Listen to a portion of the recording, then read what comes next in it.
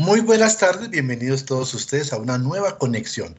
Conexión Talentos hoy en nuevo horario, ya que a partir de hoy estaremos todos los viernes a las 6 de la tarde.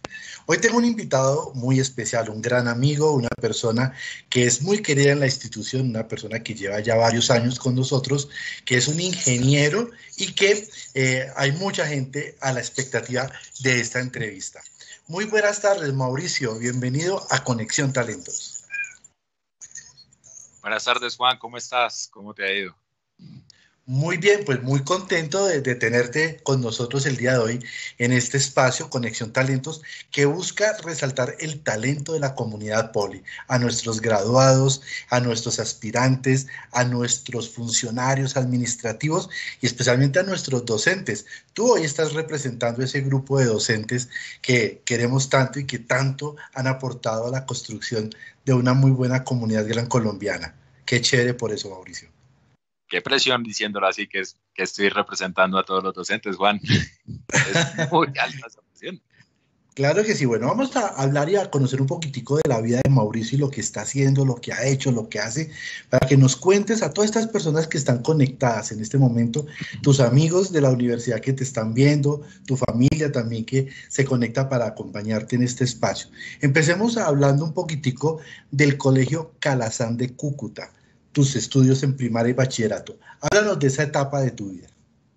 Bueno, esa etapa de mi vida fui toda la antítesis de lo que soy hoy. ¿Por qué razón? En esa etapa de mi vida fui, digámoslo así, que no fui un buen, un buen estudiante, no fui una persona muy disciplinada, aunque con mis estudiantes ellos pueden decir que soy muy exigente con la disciplina, con el estudio y demás. Creo que mi, mi reputación me precede en ese estilo. Pero en esa época fui toda la antítesis, estaba más eh, enfocado en el deporte, en las distracciones normales del crecimiento de una persona. Eh, fui bastante, bastante conflictivo en el sentido que no era, el, no era la persona más chévere en el colegio, digámoslo que en popularidad sí, pero para los administrativos del colegio era un dolor de cabeza. El que generaba el bullying. Eh, podría decirse. En esa época no se decía tanto el bullying, sino era el que la montaba en el colegio. Exacto. Era, pues, también en algún, en algún momento llegué a ser el capitán del equipo de fútbol del colegio, pertenecí todo el tiempo al, a dicho equipo y, pues, en esa época, pues, vayámonos un poco más atrás. Siempre los del equipo de fútbol y los de la parte de deportes siempre éramos como high top en la parte de, de conexión social y demás. Entonces, pues de ahí surgieron todos esos detalles que te comento. Fue una niñez y una adolescencia muy bonita en Cúcuta. Sí, señor. Sí, la verdad, pues, Juan, ¿qué te cuento? Yo me disfruté muchísimo de esa época. Fui bastante inquieto. Eh, empezaron mis aficiones, pues obviamente el fútbol. De ahí surgí también con las bicicletas, en lo que normalmente nosotros le decíamos saltar, ahora pues ya está caracterizado como el BMX o el street, yo hacía más street, eh, tuve varios golpes y el dolor de cabeza también de mi mamá, porque yo salía en la bicicleta y ella no sabía si iba a llegar con un brazo roto o con algo. Entonces, eh, fueron diferentes, es una época muy diferente, o sea, me la disfruté de esa característica y logré hacer muchos amigos y hacer también muchas conexiones interesantes, que en este momento de la vida pues sigo teniéndolas y siguen siendo muy buenas, inclusive para la universidad. Varias de esas conexiones me han ayudado con congresos, me han ayudado con ponencias. Ellos también cambiaron ese, esa forma de, de desempeñarse, digámoslo así. Tú eres de una familia muy unida, ustedes se quieren mucho, papá, mamá, tu hermano y tú. Desafortunadamente tu padre ya no está con nosotros, pero queda tu madre y tu hermano. Son una familia de ingenieros, todos ustedes son ingenieros. Sí, lo más, o sea, para que la, la tomemos en cuenta, mi papá era ingeniero mecánico, mi madre es ingeniera civil, mi hermano es ingeniero de sistemas y yo, mecatrónico. Cuatro ingenieros, cuatro genios súper fuertes cuatro perspectivas diferentes de la ingeniería que al fin y al cabo en algunas discusiones llegábamos a defender nuestras posiciones de manera muy fuerte y digamos que se, como que se sentía una tensión, pero era una tensión precisamente por el conocimiento. En, el, en la parte del sentimiento no te voy a negar, yo sí soy muy unido a mi mamá y y a mi hermano, pues ahorita, ya que mi papá no está, inclusive yo viajaba constantemente a Cúcuta estando mi papá para visitarlos, para no estar lejos, pues ya que mi hermano mayor sí está un poco más lejos, mi hermano vive en Estados Unidos. Y digamos que en ese, en ese que somos pegados, que no sé qué, que todo, nos turnábamos también para ir a donde estaba mi hermano. Muchas veces viajamos con él y viajamos de maneras diferidas, pues precisamente porque mis papás tenían más tiempo, yo con, el, con los trabajos, ya sea cuando ya entré al poli, eh, tiempo era un poco más reducido en las vacaciones y demás, entonces pues era un poquito más difícil, pero igual seguimos siendo muy unidos. Digamos que tenemos la ventaja ahorita que pues nos podemos ver por videollamada, que podemos hablar más tranquilamente por internet, no hay ningún problema, pero genial. Inclusive voy a Estados Unidos y básicamente estoy en mi casa, si está en la casa de mi hermano, pues puedo salir, hacer todo tranquilamente. Claro, y antes de la pandemia, que comenzara la pandemia, tuviste la oportunidad de, ir a Europa y de estar en Estados Unidos con ellos, con tu mamá y con tu hermano. Claramente, sea, para, fue un regalo para mi mamá de cumpleaños de parte de mi hermano y mío. Eh, mi mamá siempre pues quiso conocer París, entonces le dijimos inicialmente como no, nos vamos nada más para Nueva York, vamos a pasar los cuatro, los, los cuatro porque mi hermano también está casado. Eh, y a partir de eso, pues dijimos, listo, estamos los cuatro allá, no sé qué y de ahí, dos días antes del cumpleaños de mi mamá, viajamos a Europa, a París. Pasamos unos días allá, muy chévere. O sea, si alguien tiene la posibilidad, cualquiera, que, que vaya a ir a París, no compre etiquetes de metro ni nada, aproveche para caminar. Es un espectáculo divina, de verdad. Aparte, pues, si contemplamos una cosita, mi mamá es ingeniera civil, yo crecí con ella, ayudándole en sus trabajos. Entonces, todo el tema de arquitectura y de construcción me llama mucho la atención. Entonces, nada más me ponía a ver los tipos de construcción, o sea, como cualquier turista perdido mirando para el techo todo el tiempo así, espectáculo. y me disfruto más eso, sí, por lo menos personalmente. Claro, nos decían aquí personas que en este momento están viendo el programa y que son amigos tuyos y que te conocen, nos decía, con esa cara de bravo que tiene y esa cara de la pinta de duro que se gasta, él es eh, muy blandengue y de un corazón muy grande y la prioridad de Mauricio es su mamá. Eso es muy cierto. O sea, te cuento que el año pasado pedí unos días de vacaciones porque a mi mamá, o sea, mi mamá ahorita es la persona más importante en mi vida. No sin dejar de lado pues a mi hermano y el resto de la familia, pero sí pedí unos días tanto para estar con ella como para cuidarle una operación que tuvo, estoy de ella, la llamo dos o tres veces al día, pueden decirme intenso si quieren, pero pues tengo que estar pendiente, ella está sola en otra ciudad, entonces es un poquito más complejo el, el hecho de, estar tranquilo cuando, cuando a ella posiblemente le pase algo. Puede ser algo sentimental, pero pues aclaremos una cosa, mi mamá estuvo 49 años con mi papá, o sea, básicamente toda la vida. Entonces, digamos que a veces el, el, bajón sentimental le da muy fuerte, todavía extraño a mi papá, eso fue pues relativamente hace poco tiempo, casi dos años. Entonces, claro. como que pues es un poquito más difícil, pero pues sí vivo muy pendiente de mi mamá todo, todo el tiempo. Inclusive en la universidad creo que varios de esos amigos me han pillado hablando con mi mamá, que me salgo y estoy, estoy hablando con mi mamá y les pongo atención. claro, la, la, prioridad, la número uno, así es. Mauricio, y cuando estás en, Cúcuta y estás en el Colegio Calazán, terminas tu grado 11 y te decides por una universidad. Te vienes a Bogotá y llegas a la, a la Militar Nueva Granada a estudiar mecatrónica. Sí, señor. Llegué. ¿Y por, qué, por qué esa carrera? Espérate, te cuento ahí, te contextualizo. Yo desde más o menos noveno, mi segundo noveno, porque yo me tiré noveno, desde mi segundo noveno, empecé yo ya como a alinearme hacia esos temas de, la mecatrónica, que es básicamente el diseño mecánico, la electrónica y parte de la robótica, ya el inicio de la robótica como tal, ahí empieza el boom de la robótica. Yo ya lo sabía. ¿Qué universidad fue la que lo puso acá en Colombia como la, la pionera? Fue la Militar Nueva Granada. Pero ¿qué pasó? Yo salí del colegio y yo no llegué a la militar inmediatamente. ¿Qué fue lo que sucedió? A mí se me pasaron las inscripciones de la militar.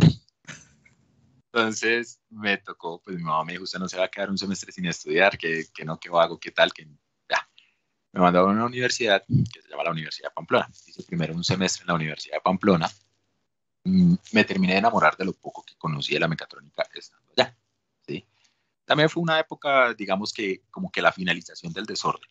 O sea, me fue muy bien, pero mm, no sentí como ese, como ese reto de estudiar. Eh, después sí me pude inscribir realmente a la, a la militar. Ya llegó en el segundo semestre del 2006 acá a Bogotá y empiezo mi carrera de mecatrónica. Y ahí sí se empieza a ver lo complejo, lo que es la pionera en, el, en el, la carrera. ¿Por qué? Porque si yo lo comparaba con la Universidad de Pamplona, el nivel fue un poquito más bajito, la exigencia no fue tan alta, aunque fue primer semestre en ambos casos, eh, sí se notaba que había más experiencia impartiendo el conocimiento sobre esa carrera dentro de la, dentro de la Universidad Militar, no sin demeritar lo que vi en la Universidad de Pamplona, sino que pues la experiencia en el, en el ámbito se, se notaba. Entonces, ya ahí sí cambia realmente toda mi vida. Una, una, una, una reflexión de vida y algo muy, muy chévere que sucedió es que mi familia apostaba cuánto iba a durar. Sí. Porque pues antecedentes. los antecedentes decían que yo no iba a durar mucho estudiando. Entonces, y que me tenía que volver a Cúcuta. Entonces, cuando ya empiezo yo la carrera, ya digo, bueno, esto es lo que me voy a dedicar a la vida, esto lo ya, o sea, ya hay un cambio de mentalidad completo. Y ya, me pongo a estudiar. Tanto así que para el primer semestre no me gané la beca porque el que terminó siendo mi compañero de tesis sacó un promedio más alto que el mío pero fui el segundo promedio más alto. Entonces, ya ahí empieza uno a ver, bueno, listo. Empezó una competencia sana con él, con otros compañeros sobre los promedios. Digamos que los compañeros con los que yo me inicié, no fue con los que terminé, sino que más o menos hacia el tercer semestre ya se focalizó el grupo con el que sí terminé. Y esa competencia sana se, se empezó a dar fue con ellos, que éramos siempre los mejores promedios de toda la carrera. Pues aquí en números yo quedé con un promedio de 4.45 en la carrera mi compañero de tesis quedó con un promedio de 4.6. O sea, era un poquito difícil la competencia, pero pues siempre estábamos por ahí muy cerca. ¿sí?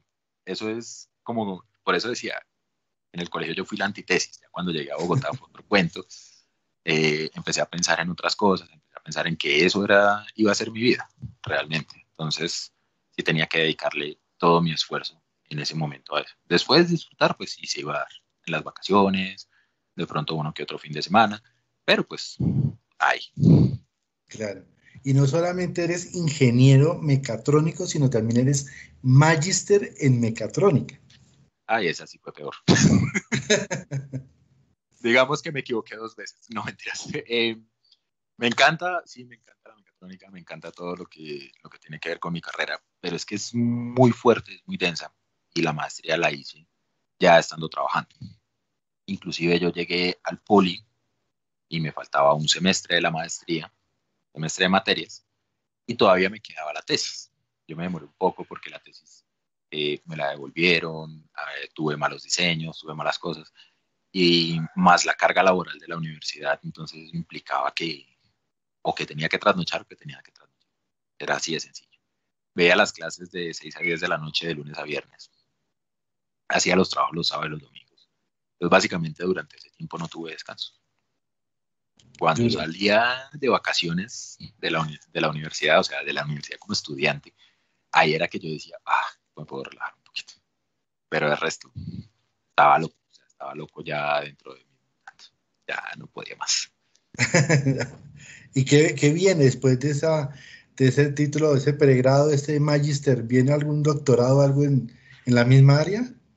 Pues he estado pensándolo pasa es que, como te lo digo, me equivoqué dos veces. Tienden, tienden a hacer esos estudios demasiado, demasiado fuertes, demasiado focalizados y necesitan una dedicación muy alta. Si me pongo a hacer un doctorado, pues básicamente tengo que renunciar a todo trabajo, eh, tendría que renunciar a la universidad eh, y dedicarme el 100% del día al doctorado. Lo que incluye también seguir dictando clases, pero eso es otro cuento. Y y son bastante, al ser bastante específicos, no, muchas, no muchos países lo ofrecen. En general lo ofrece nada más Alemania, una Japón y ofrece otra, si no estoy mal, es Italia. Entonces, también hay que pensar lo que hay que movilizarse.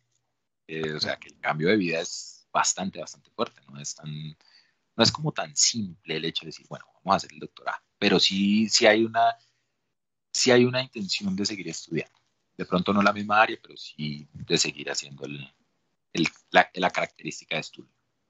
Qué bien. Mauricio, las personas que te conocemos y que tenemos la, la, suerte, la dicha de ser amigos tuyos y que te conocemos, sabemos que tú eres hombre de grandes pasiones, tienes muchas pasiones. Los tatuajes, los juegos de los juegos de Atari, consolas de video, todos estos, todas estas plataformas, por llamarlas de alguna forma, ¿cierto? Y las motos. Hablemos de esas tres pasiones. Empecemos por cuál, por los tatuajes. ¿Cuántos tatuajes tienes? Realmente tengo seis. Obviamente el más grande es este, que es básicamente tres cuartos del brazo derecho. Eh, tengo cada una de las extremidades tatuadas, entonces ya iban los cuatro. Tengo el retrato de mi madre en el pecho y tengo otro en la espalda. Dos de los seis que tengo son en relación a como a mí me dicen mis amigos de Cúcuta, me dicen tiburón. Es una explicación sí mucho más larga, más... Pero entonces son dos tiburones realizando dos acciones diferentes.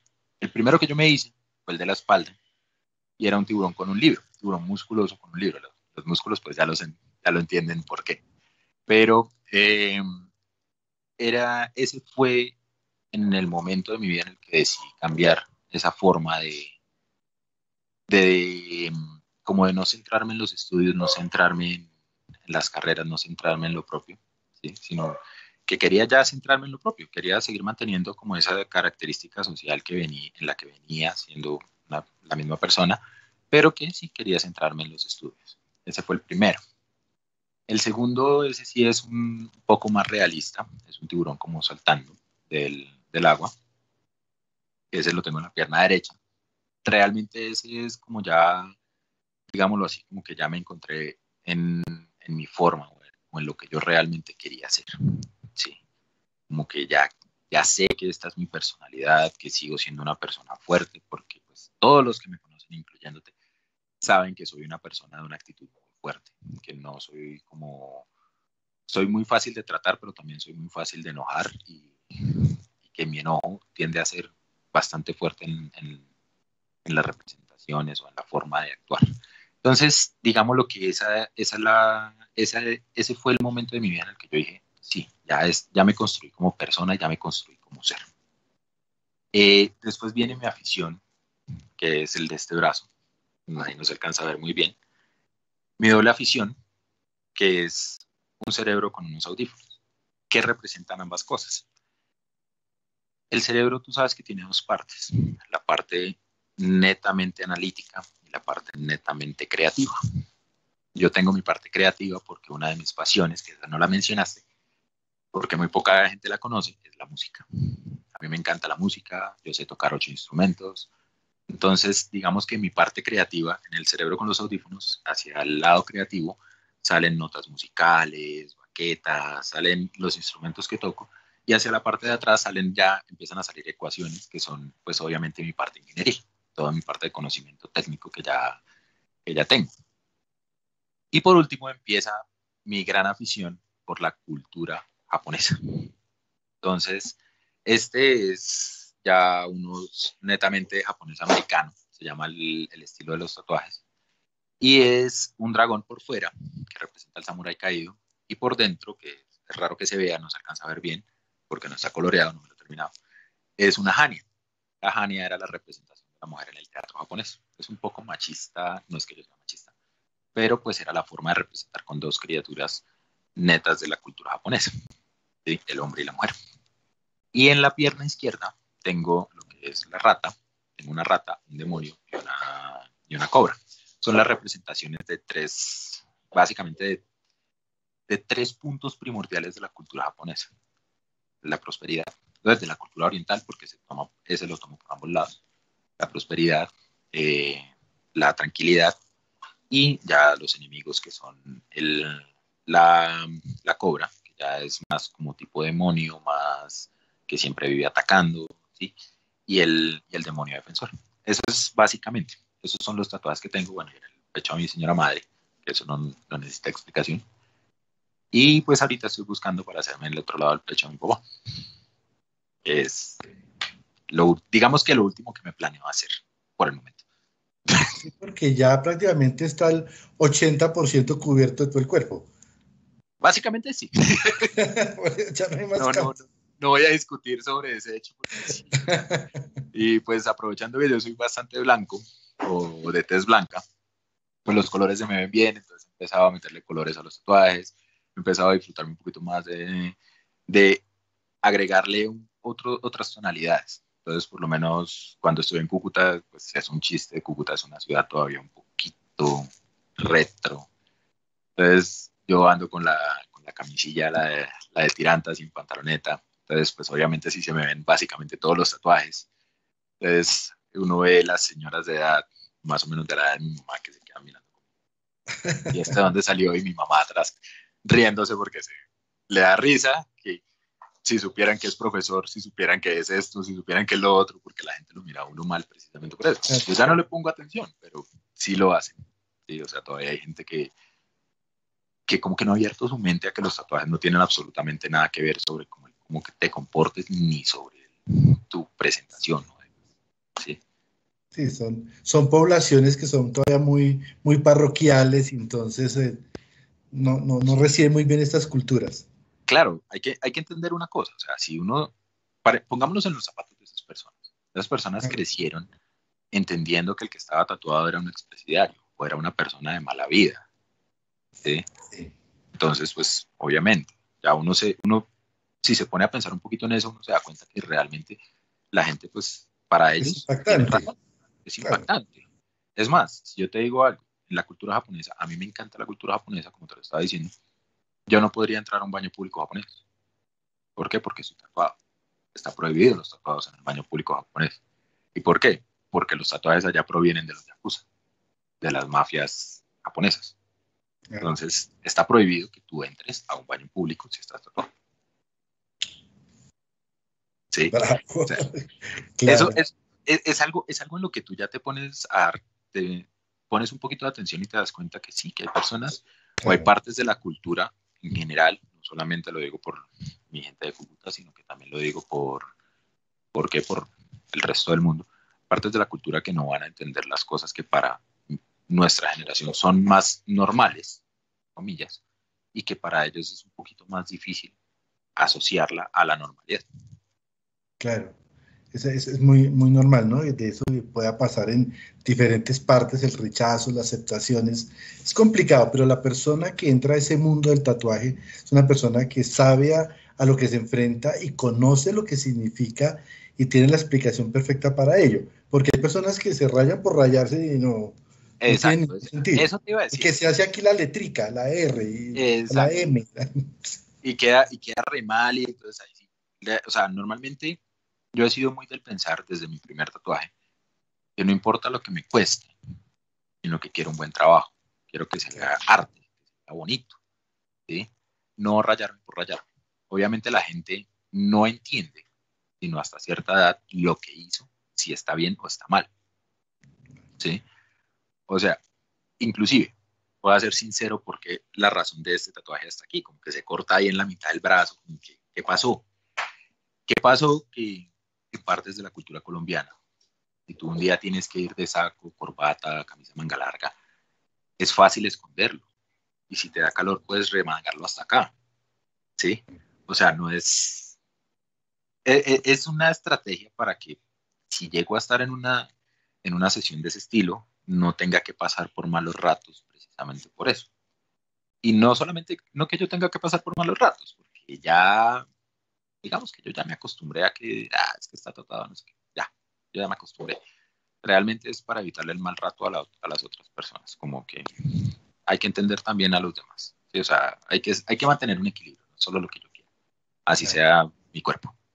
Afortunadamente en nuestra comunidad poli no hay esa discriminación ni ese rechazo, al contrario, son muy bien recibidos y, y todo el mundo quiere conocer los tatuajes de Mauricio y los celebra y chévere lo peor, lo peor es que las personas que me conocen saben que por más que yo soy de tierra caliente, no me aguanto mucho la chaqueta, o sea, me gusta andar siempre suelto. Cuando me dice este, fue una época muy soleada en Bogotá. Entonces la idea es que uno, pues cuando se hace los tatuajes, como que dejar que no, no se asoleen tanto y tal. Entonces cuando esas personas me veían, ¿usted por qué anda con chaqueta? Y yo estoy estrenando tatuaje y me agarraban el brazo y yo, ¡ah! no, no, hay nada peor que tener. Sí, yo lo hice. Juan, no me agarré el brazo. ya.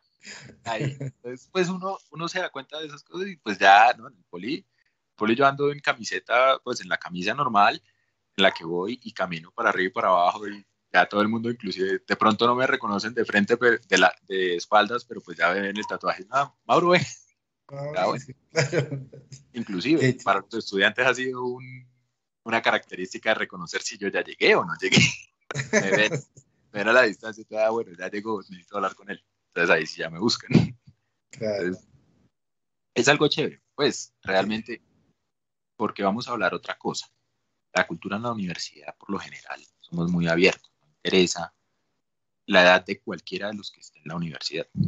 Realmente la universidad tiene que ser muy abierta, tanto a nuevos conocimientos como a nuevas formas de pensar y nuevas formas de debatir.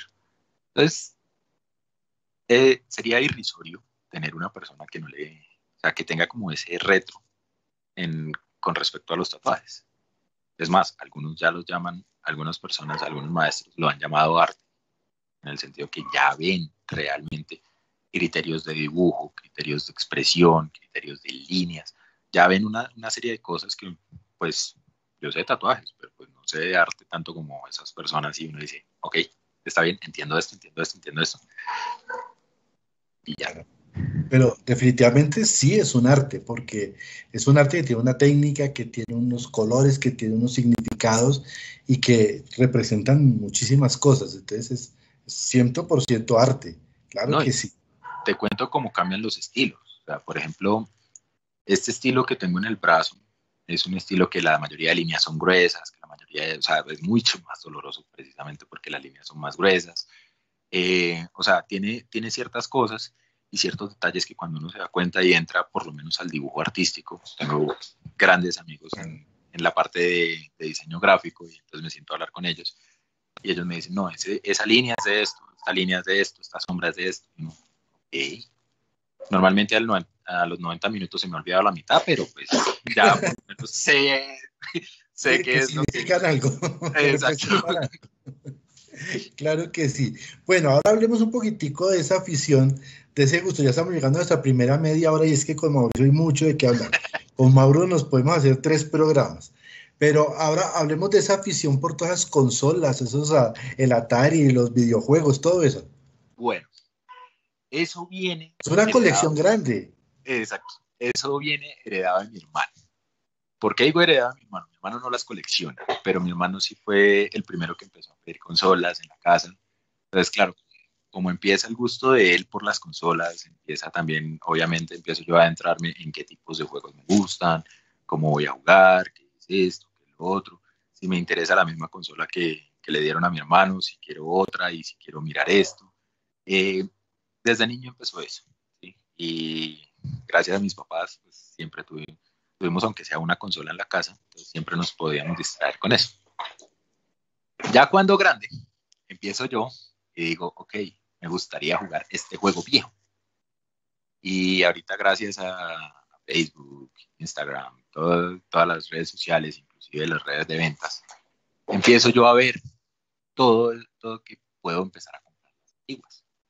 Entonces empecé mi colección de consolas antiguas que se basa más que todo en Nintendo, precisamente porque yo crecí fue con las consolas de Nintendo. Cuando me doy cuenta, al punto de que ahorita tengo 14 consolas en colección, todas funcionales, no las tengo conectadas porque eh, ahorita en, la previa te estaba comentando que me compré un PC Gamer, o sea, me la paso, o sea, todos esos mismos juegos ya los puedo comprar en el computador y los puedo jugar de manera más sencilla, pero entonces la idea es que todas esas siempre funcionen, siempre estén listas. O sea que si algún día me da por ser retro y conectar cualquiera, no me interesa, la puedo conectar. ¿sí? De ahí sale también una afición y se juntan las aficiones, digámoslo así, que no eran tan grandes.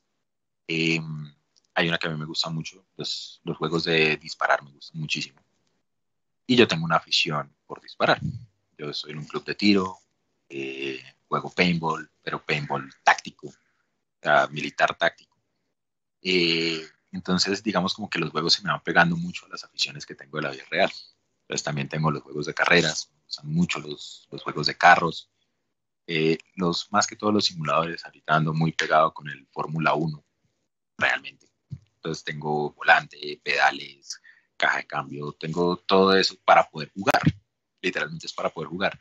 Aparte tengo mis consolas ahí guardaditas que digo, no, y estos son los títulos más importantes de cada una de ellas. O sea, no era solamente encontrar que la consola funcionara, sino también encontrar el juego primordial de esa consola. O sea, ¿qué quiere decir? Si yo digo, ah, listo, entonces tengo la Nintendo clásica, la NES clásica, la del Dog Hunt, todo el mundo conoce el Dog Hunt, el de la pistola que tú le disparabas al, al pato. Al pato. y salía el perro cuando fallabas. ¿sí? tengo esa, pero lo tengo con el título de Dog Hunt. O sea, me interesaba era conseguirla con el título de Dog Hunt. Si no estaba, no me interesaba. Y encontré unas en muy buen estado, que funcionaban muy bien, que tenían los Marios, que tenían todo eso, pero no tenían Dog Hunt. Entonces yo, no, no me interesa. Pasaba, pasaba, pasaba hasta que encontré una. Así. Eh, después ya entran los juegos de... Aquí me dicen, con tanto juego con razón no le rendía la tesis. Acá me están escribiendo. Eh, pues, ¿qué te dijera yo? Eh, pues sí. Aceptemos las cosas como son, las realidades así. Eh, sí, realmente, pues fue parte de los juegos que no me rendía mucho en la tesis. Pero, pues, la otra pasión que la mencionaste, esa era la otra que me quitaba el tiempo de la tesis. Pero, pues, igual, ya la saqué, ya soy. Pero igual, eh, digamos que pasé por todos los juegos de mi infancia, los recogí todos aquellos y empecé con los juegos de la adolescencia. Entonces ya tengo todas las Nintendo desde la Nintendo clásica hasta la Nintendo Switch. Tengo los PlayStation, tengo el 2, el 3 y el 4, pero lo que me interesa a mí de las consolas es que sean la consola la primera, no las versiones más nuevas de ellas, sino la primera. La 1 no la he conseguido porque se consigue el cascarón, pero no funciona. Entonces, como que no me llama mucho la atención. ¿sí? Y de Xbox tengo la Xbox Caja Negra, que fue la primera con la que Microsoft incursionó en, los videojuegos, y tengo la 360, que es la segunda. Entonces tengo las dos. Digamos que ya, ya hemos llegado ahí, ya digo, ah, qué chévere. Y me estuve adentrando en las que eran las, las consolas portables. Lo que lo que fue el, el, PS Vita, o sea, varios, varios de ellos, de por sí tengo el PS Vita, por eso me acordé del nombre, y de ahí seguir. ¿sí? Ahorita paré un poco, porque lo que te digo, me compré el computador y pues el computador tiene mejor resolución, estoy más pegado a unos juegos, eh, fines de semana ya yo digo como, ah, listo, tengo, ya tengo mi fin de semana, me voy a poner a jugar, me volví más ermitaño todavía. no salgo. con, dos hijas, con dos hijos gatunos de todavía menos tiempo. Sí, por ahí están corriendo, saltando y brincando, ¿no? Menos mal están jugando entre ellos y no se les ha ocurrido venirse acá enfrente de la cámara. Pero eh, sí, no, igual preferí gaticos. Yo soy muy de animales. Es lo que corazón gigante, sí. Me encantan los animales, me fascinan, me encantan los perros, pero eh, yo soy una persona que sé que eventualmente vamos a volver a la universidad, sea este semestre o sea después, o sea, cuando sea, vamos a volver y me va a dar mucha lástima tener un perrito solo encerrado en la casa. Todo el día. Justo tener animalito. Entonces, cogí dos gaticos que ellos son un poco más independientes y demás, aunque los malcritan, están más pegados a mí que nada. Entonces, si llego a salir una hora, así sea hacer el mercado, después me hacen show de que porque me fui básicamente. Pero pues ahí están ellos. Me dejan jugar y después cuando ya se les da la locura, como pare ya, consiéntanos, entonces pues toca. y ahí viene la tercera gran pasión que es las motos. Uf, a ver, ¿qué te digo? Por las motos. Las motos sí pasé por varias cosas. A ver, te cuento. Nunca me he caído en una moto en calle. Nunca pero sí me he caído en una moto. eh, en algún momento de mi vida empecé a hacer enduro. y por allá pues, ya fui de, cabeza por un pequeño barranquito. Entonces se me dañó esa moto. No volví a usarla. Eso, porque eso es un costo alto. Pero hay algo, hay algo con las motos y hay algo que quiero decir. Que nunca digan que nunca van a tener una moto. Yo fui de los que dije que nunca iba a tener una moto. yo fui. O sea, lo aclaro y lo digo. Yo fui de los que dije que nunca iba a tener una moto. Y para que toda la audiencia de ría, yo empecé con una Bigwis. O sea, este mastodonte montado en una Bigwis, en una motico chiquita, un scooter. Ahora apenas llegaba al poli porque pues obviamente a este mastodonte le pesaba mucho ese motorcito. Y, y fue muy chistoso que empecé a subir y empecé a conocer más de las motos, lo que es el estilo de la moto, cuál es su funcionalidad, cómo se varía la, la noción de, de, la conducción de la moto, si es de cierto tipo, de cierto otro. Y llegué a un punto en el que, pues, varios saben, yo tengo mi BMW de alto cilindraje y me la disfruto. Y con eso conocí personas que tienen también motos de alto cilindraje, que son en algunos casos exclusivas y en otros casos únicas. Es diferente. Y me he disfrutado ese mundillo, ese esa pequeña secta, digámoslo así, que son las motos, porque entonces tú vas con un grupo para acá, vas con otro grupo para allá, te disfrutas esto, te disfrutas lo otro. Ahorita último estoy más que todo con un grupo de harlistas. ¿Cómo llegué yo a las Harley? Por culpa de un amigo. un amigo de Cúcuta. Él siempre quiso su Harley, siempre la quiso, no sé qué. Se compró su Harley y en un viaje a Cúcuta, que él se fue solo, tuvo una mala experiencia, se le dañó la moto, eh, había una cosa que no hacía el concesionario. Llegamos a un taller con él, yo lo acompaño, yo siempre lo acompaño a él ese tipo de cosas cuando no conoce, porque a él sí le meten las manos, los dedos a la boca, como se dice. Y lo acompañé, le arreglaron la moto, entonces nos volvimos fue amigos del dueño del taller. Entonces ya nosotros llegamos a ese taller y vemos 40, 50 motos Harley Davidson eh, podemos montarnos en ellas, prenderlas, acelerarlas, en algunos casos, eh, cuando son propias del taller, o sea, que el taller las recibió y las va a vender, nos dejan probarlas. Entonces, ya he llegado a un punto en, el que estoy con esa, con esa gente de las Harleys muy, muy chévere, ¿sí? Eh, y pues precisamente hace poco estuve allá y nos mostraron una Harley que se el nombre, siempre me olvida el nombre de todas las Harleys que ya viene con pantalla, Bluetooth, baffles, o sea, eso es un, eso es un carro, es un carro realmente, vale más que un carro también. Entonces, eh, es espectacular. Y ya ahí empiezo yo a encontrarme con diferentes grupos de, de moteros, para decirlo bien. Y al, hay un punto en el que uno ya empieza a compartir diferentes cosas. Hay un profe, en la Facultad de Ingeniería, que él se llama Francisco, con Francisco nos fuimos a hacer básicamente destapado en el páramo. El páramo de Sumapaz, bajar hasta Cundinamarca por el otro lado y después sí salir y volvernos por ruta normal. Fue espectacular, paseo espectacular. Ya he hecho varias veces ese tipo de paseos, con él no fue el primero. Eh, antes de, ir con él al páramo de Sumapaz, conocí lo que es la parte del páramo antes de, la subida del Nevado del Ruiz, viniendo de Manizales hacia acá. Por allá dañé la moto. llegué sin radiador a Bogotá, tocó sacar la experticia de motero de, de carretera y empezar a hacer arreglos de carretera, literalmente arreglos de carretera, no te miento. Eh, dañé el radiador, empezó a, a, fugarse el líquido y hay un arreglo muy chistoso, pero sirve, sirve para todo. Si les daña el radiador en cualquier aspecto, busquen un huevo, no son mentiras. Un huevo sin cocinar y sin nada y le echan nada más la yema del huevo. Eso les sirve para por lo menos poder andar y tapar un poco el hueco. Lo único feo es que así lo laven con ácido y lo arreglen y todo. Eventualmente en algún momento les va a oler a huevo. o sea, por lo menos a mí me llueve y se moja el radiador y yo no sé de dónde sale el olor a huevo, pero sale. sí, o sea, literalmente sale el olor a huevo, entonces no puedo hacer nada, ya, pues me quedo la moto oliendo a huevo cuando llueve. De resto, no. Eh, de ahí, eso me pasó como a dos horas de trayecto de Manizales y eran nueve. Entonces me vine seis horas con el radiador así, pendiente de la presión, pendiente de todo. Pero llegué a Bogotá. Todo ok.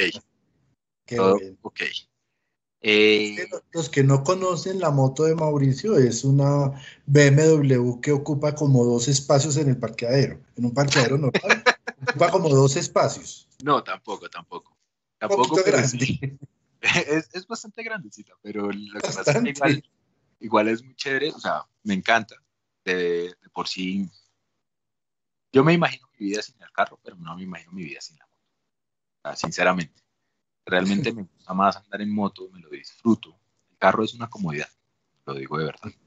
Pero la moto sí es algo que yo digo, disfruto andarla, disfruto manejarla. No me interesa si hay trancones o si no hay trancones, o lo que sea. Me la disfruto.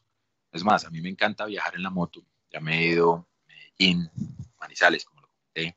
Me fui hasta Pasto, me fui a Cali, me fui a Bucaramanga, obviamente Cúcuta, sea, he visitado varios lugares del país en moto y me, por diferentes rutas. he ido varias veces, por ejemplo, a Cúcuta, entonces me voy por diferentes tipos de rutas, que son unas rutas destapadas, que son unas rutas no sé qué. Y ahí puedo disfrutar de mejor manera también lo que son los paisajes de Colombia. Para que la, la diversidad de nuestros paisajes es espectacular. Terminas odiándolo después de la, de la curva número 500, pero los paisajes son espectaculares. Sí, Es cierto, en el carro uno no lo disfruta tanto, pero como buen papagatuno, el último viaje a Cúcuta en diciembre sí tocó en carro para poder llevar a los hijos.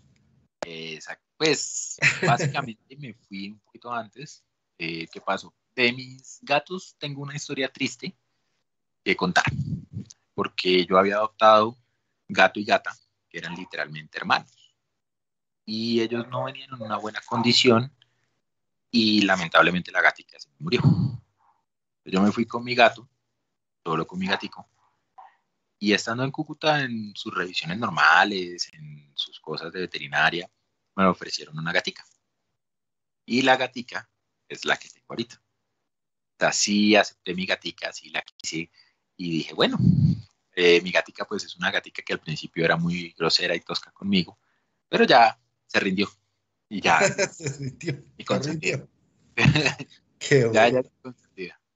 Claro. Hay mucha gente que nos está mirando, Mauricio, hay gente que nos está acompañando en esta conexión y son María, María Elvira, está María Luisa, está Alexandra, está Emily, está mi querida y gran amiga eh, Nelly Balbuena, que está en Quito, Ecuador. Desde Ecuador nos está viendo ella, está muy pendiente. Nelly también fue profesora en el Politécnico Gran Colombiano. A ella un saludo especial aquí desde Colombia y a todos estos muchachos y toda la gente que nos está viendo, un abrazo especial. A María Luisa, que no se pierde el programa y también está contenta de ver aquí a Mauro. A todo el mundo está aquí conectado. Y conocemos, como te decía al comienzo, de todas esas pasiones, porque no es solamente los tatuajes, los juegos, eh, de los juegos de video, las motos, los animales, te gustan los deportes extremos, te gusta la música, te gusta aviones, eres muy amigo de tus amigos, pero hay otra pasión que tú también vives desde hace ocho años. Tienes eh, fama de ser muy estricto,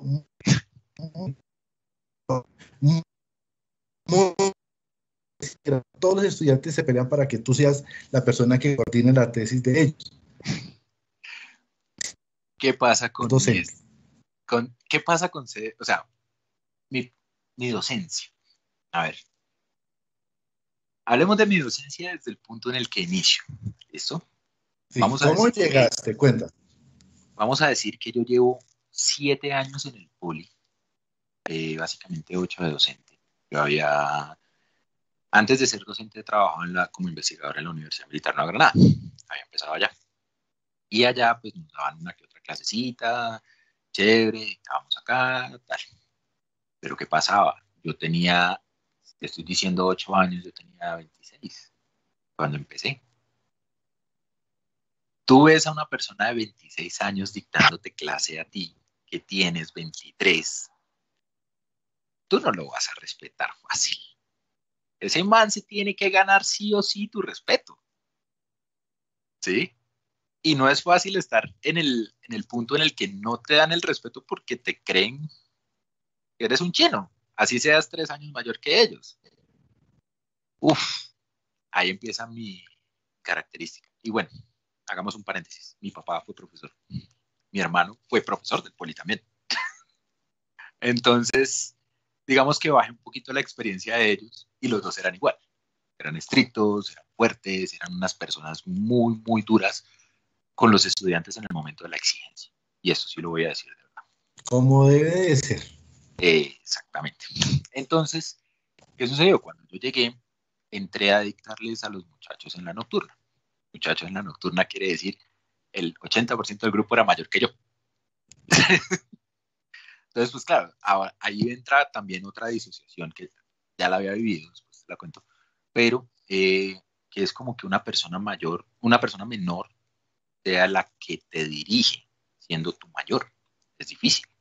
Es difícil inclusive como, como profesor tú tener la, la potestad de decirle a una persona mayor cómo debe o no debe realizar ciertas acciones. En este caso, pues son acciones de materias, de estudio, que pues sí, yo soy el profesor que de entrada les digo, yo estoy acá solamente porque sé más de un tema que ustedes. Primero. Segundo, no me gusta que me llamen profe. A mí no me gusta que me llamen profe porque yo les digo, muchachos, yo me presenté, yo tengo nombre. Ustedes se tienen que aprender cinco o seis nombres al semestre, que son los nombres de los profesores. ¿Sí? Tengo nombre, llamen por mi nombre. Entonces, algo muy chistoso en medio de todo que los, que los chicos a veces como que dicen, oiga, es, raro que me lo haga, pero bueno. Entonces me llaman profe y yo les grito estudiante. O sea, como que no me gustan, no me gusta ese tipo de, como de etiquetas. Me bajo del estandarte en el que normalmente está un profesor que está por acá arriba y, es diferente, no me bajo. Yo sé que lo que sé es de un tema, de pronto un estudiante, inclusive que sea menor que yo, puede saber más de otro tema que yo. Entonces, entramos ahí. Lo que sí les pido es siempre el respeto. Entonces, digamos que para llegar al respeto inicialmente era la exigencia Ahorita ya la exigencia hace parte de mi ser como docente. Ya llego y les digo, bueno muchachos, mi exigencia es esta, esta, esta, esta. No me gusta esto, no me gusta esto, no me gusta esto. Ahora acordemos lo que a ustedes no les gusta. Entonces, profe, no nos gusta esto, tan, tan, tan. Entonces llegamos a, una, a un acuerdo entre ellos y yo y se lleva la clase sobre una misma. ¿Qué sucede? Cuando tú me mencionas lo de la tesis y lo de la opción de grado, ellos me odian hasta ahí. hasta ahí me odian. ¿Por qué? Porque yo soy fácil, imparcial, puede que sea muy fuerte, los talleres puede que sean muy, muy, muy difíciles, los trabajos en grupo también, o sea, que les exigen a los muchachos, a mí siempre me gusta exigirle a los muchachos. Y me encanta una cosa, que en esa exigencia ellos se acerquen a decirme, no entendí. O sea, esto es trillado, pero es en serio. O sea, ¿por qué digo que es trillado y es en serio? muchas veces los muchachos no son capaces, aunque ellos sean los dueños de, digamos, digámoslo así, de, los dueños del tiempo de la clase, en el sentido que si ellos tienen que preguntar varias veces, lo tengan que hacer, muchas veces no lo hacen. Entonces, digamos que yo tengo la ventaja que tengo el laboratorio, los muchachos saben que el laboratorio está abierto y hay dos opciones, perdón, tres. O está el profe Álvaro, o está el monitor del laboratorio, o estoy yo si me están buscando a mí, pues de pronto está el monitor y les dice, no, está abajo fumando. Está tostado. Entonces, o están tostado echando tinto, vayan para allá. A ver, ¿sí? Entonces, ¿qué es lo que pasa? Ya ahí me encanta que lleguen allá y les digo, bueno, siéntese acá. ¿Qué es lo que ha hecho? ¿Por qué lo ha hecho así? empieza una serie de preguntas y respuestas entre ellos y, y yo, al punto de que ya ellos no me hacen la pregunta literal de qué es lo que necesitan, sino que me hacen ya ellos mismos van entendiendo que con mis preguntas les estoy solucionando lo que ellos están solicitando. Y pues varios, los que no son así, terminan perdiendo las materias conmigo. Entonces es algo, e, eso, eso, eso, es lo que, como que lo que no les gusta, por lo que te digo que me terminan odiando, por lo que muchos estudiantes no me quieren. Y pues yo no peleo con la vida por eso, o sea, que ya lo sé.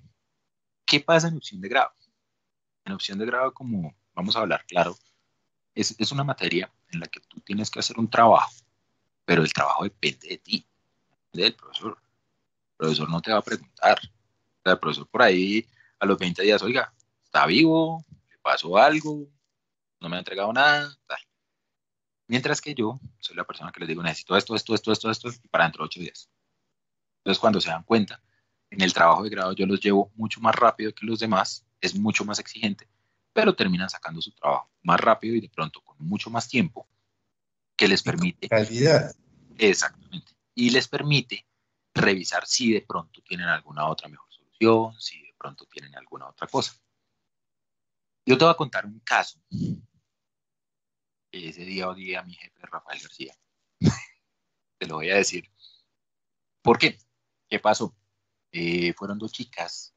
Yo les dije, vamos, venga, ellas iban a hacer una cosa eh, más o menos hacia el ambiente médico y como yo ya había trabajado sobre eso, entonces ellas dijeron, no, Mauro, sea usted nuestro, nuestro tutor. ¿Cuál es el caso? La chica era de sistemas, una de las chicas era de sistemas y la otra era de telecomunicaciones. Eran dos carreras diferentes, pero era la misma tesis. El decano fue uno de los jurados. Casi me las destruye. Con razón, sí, tuvo razón, no se la voy a quitar. Tuvo razón, eh, pero en un momento me tocó meter la cuchara y decir, como soportarle el, trabajo de las chicas, como ven, no, lo que pasó es esto, tan, tan, tan. Y obviamente hablemos de, que el decano es, es una persona con un estudio matemático muy fuerte. Entonces, pues obviamente él lo vio desde su perspectiva matemática y dijo, oiga, falta algo, falta algo, falta algo. Entonces, me tocó meterme a defender. Por eso digo que ese día odié a Rafael. Pero ya, igual fue fue muy chévere la experiencia también de tener chicas de, o sea, tener estudiantes de dos carreras diferentes sobre el mismo trabajo, porque ya uno se da cuenta también que hay diferentes puntos de vista, inclusive contemplando las, las variables vistas por una característica técnica y por otra. Entonces es, es un juego chévere, un juego chévere.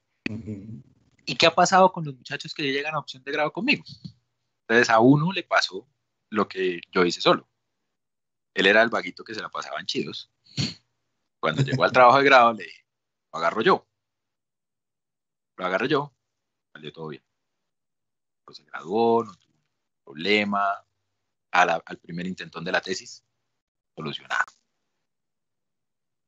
Entonces, de ahí me hice la fama de como que, que yo maneje la tesis de los chicos es, es algo mejor, porque yo los presiono un poco más. ¿sí? digamos que partiendo también de la experiencia. Ahorita mencionabas lo de mi tesis, que por ahí te estaban diciendo que por los videojuegos no, no adelantaba mi tesis.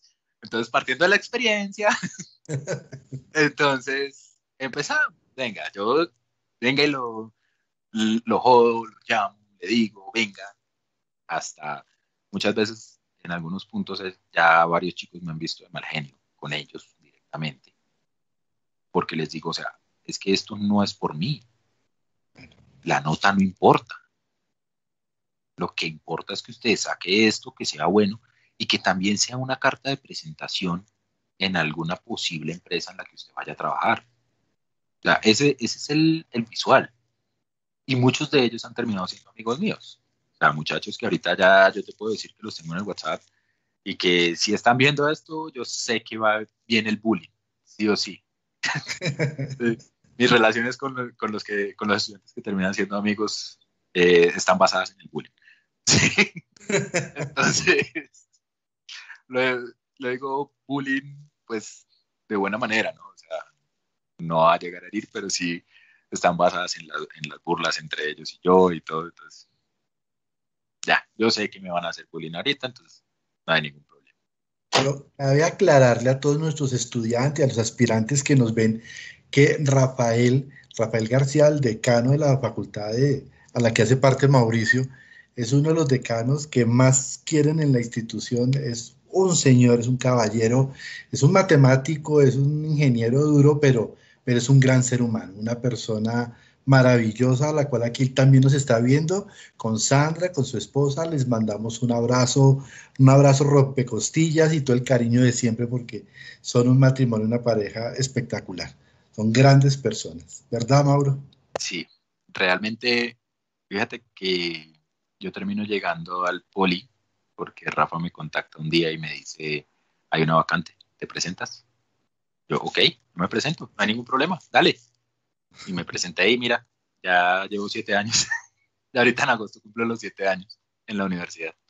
Qué chévere. y ocho como docente. Y, que en estos, en estos minutos que nos quedan ya, se nos está yendo la hora ya casi. ¿Qué significa para ti el Politécnico Gran Colombiano? El Politécnico Gran Colombiano es un reto para todos. ¿Un reto en qué sentido?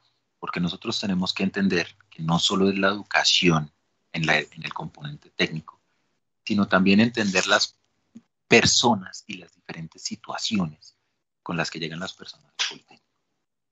Y ese reto es muy bonito, o sea, realmente es muy bonito porque tú te replanteas muchas cosas y vas entendiendo también muchas cosas, tanto del día a día de unas personas como el día a día tuyo, cómo se ve afectado también por ayudar a esas personas. Inclusive yo te digo que he arriesgado en puntos temas personales para ayudar, o sea, he dejado de hacer temas personales para ayudar personas dentro del Politécnico. No me interesa, me parece, o sea, me parece que es lo mejor que puedo hacer. Aparte, en el Poli, con todo el respeto para todos, pero uno se puede sentir tranquilo de molestar con el que sea. Eso es de ahí, con las chicas del aseo, con los muchachos de seguridad, con los muchachos de mantenimiento. O sea, más que todas las relaciones que he hecho con todas las personas dentro del poli es porque soy espontáneo, pueden decirlo, soy cansón. Entonces, eh, todas aquellas que me conocen saben que por bajito llego a molestar una vez al día y que cuando llego a molestar pues es así. Eh, pero es esa tranquilidad en la que tú estás, en la que puedes hablar, en la que puedes expresarte. Y para mí eso es el poli. Es un reto de entender, aprender y enseñar. Y ha sido, ha sido un reto adaptarnos a esta nueva realidad de la virtualidad en clases y todo. Es muy fuerte, porque bueno, vamos a tocar una cosita. Y es que como habían horarios como a las 6 de la mañana, para los chicos eran súper duros, y no solamente para los chicos, tengamos en cuenta que yo soy un búho. Entonces, yo despierto toda la noche y me tocaba un horario a las 6 de la mañana. Yo decía, no, me voy a morir aquí dictando clase. A veces les decía, muchachos, denme dos minutos, me voy a tomar un café, si no, no puedo seguir, no sé qué. Todo esto ha sido un reto. Y no solamente para nosotros como docentes, para los administrativos de la universidad, sino para los chicos. O sea, es muy fuerte. Muchos chicos estaban acostumbrados a ver al profesor de pie y explicar y a través de una herramienta, a través de una pizarra, a través de imágenes, a través de otras cosas, puede que no se capten muchas cosas.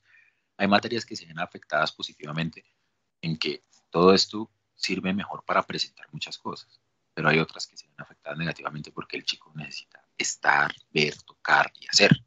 Por lo menos la gran mayoría de mis materias son de hacer, entonces es un poquito más difícil llegar a decir, vamos a hacer esto sino como vamos a imaginarnos, uy, venga, como así, y en el software hay que hacer esto. Ah, bueno, digamos que es un reto, es un reto completo. Todo, inclusive la pandemia. La pandemia es un reto también psicológico. Tuve un, chico que me dijo, estoy mamá a estar en el computador, o sea, no puedo, no puedo más, profe, estoy cansado, estoy que cansado el semestre, no sé qué. Yo le decía, pero venga, no, ¿por qué? No, es que no sé qué cálmese, tómese los breaks. No, pero es que tengo las clases seguidas. Pues párese y así. Te lo juro que tiene un portátil, le dije. Sí, sí, tengo un portátil. Entonces yo le decía, párese y está en su cuarto, váyase para el comedor, está en el comedor, váyase para la sala, váyase para otro lado, cambie un poquito porque si no, si sí, de verdad, sí se va a volver loco. No va a tener la, concentración para hacer sus trabajos, no va a tener la, la disciplina para poder atender. Y es que también tengamos en cuenta que es una disciplina sentarse dentro de una pantalla a escuchar a una persona hablar de un tema hora y media o tres horas en su efecto. Claro, ha sido, ha sido un reto definitivamente. Pero bueno, Mauricio, se nos fue el tiempo, ya cumplimos la hora. Estamos felices de haber podido compartir esta hora contigo, de charlar, de que nos contaras todas estas anécdotas para el Centro de Medios Audiovisuales, su director Andrés Pilonieta, para el Centro de Medios para Bienestar Universitario. Pues ha sido un gusto tenerte en nuestro espacio de Conexión Talentos y esperamos pues invitarte a un próximo programa y que vuelvas a estar con nosotros muy pronto y que nos sigas contando todas esas anécdotas. Eh, nos despedimos y los esperamos en una próxima Conexión Talentos. Despide, Mauricio. Bueno, muchísimas gracias a todos por estar el día de hoy. Muchísimas gracias por haber escuchado parte de lo que es mi vida. Y muchísimas gracias por... Se fue. Salimos. Salimos. Salimos.